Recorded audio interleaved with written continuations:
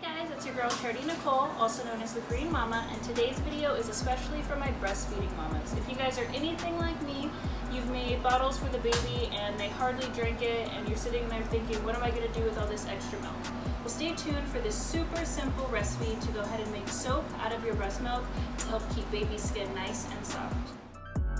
You're gonna need um, whatever melt and pour soap you want, eight ounces of breast milk, a basic bowl that you can microwave in, and silicone molds. Of course, mine have a little clover in them.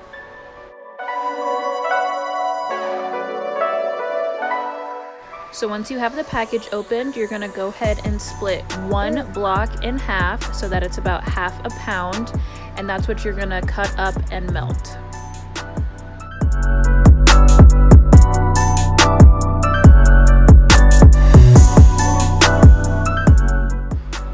Definitely suggest cutting your half pound into even smaller sections just so that when you're melting it's um, a little bit easier and it melts a little bit smoother for you.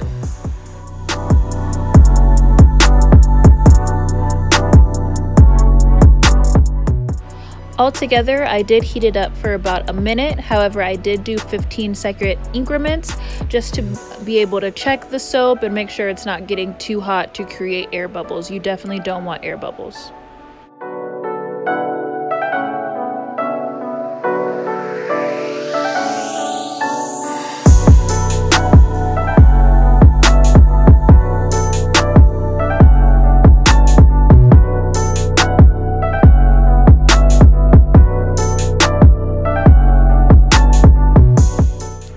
Once the soap is completely melted down to a smooth liquid, you're going to go ahead and add your 8 ounces of breast milk and make sure that it is mixed in very, very well.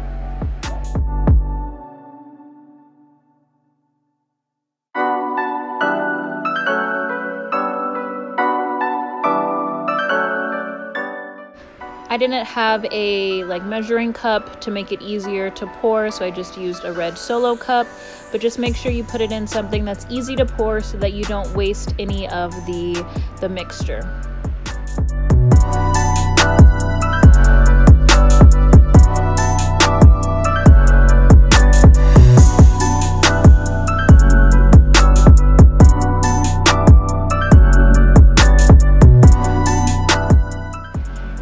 Guys. Once you pour them into the molds, go ahead and pop them into the fridge.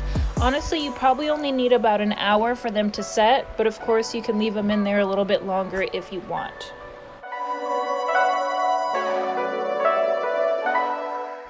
And there you go, guys. Super simple four-step breast milk soap recipe for you guys. Again, if you have, you know, you made your baby a bottle and he didn't drink it, or you have milk that was left in the fridge too long before you froze it, definitely don't throw it away. Get some good use out of it and make some soap for the baby.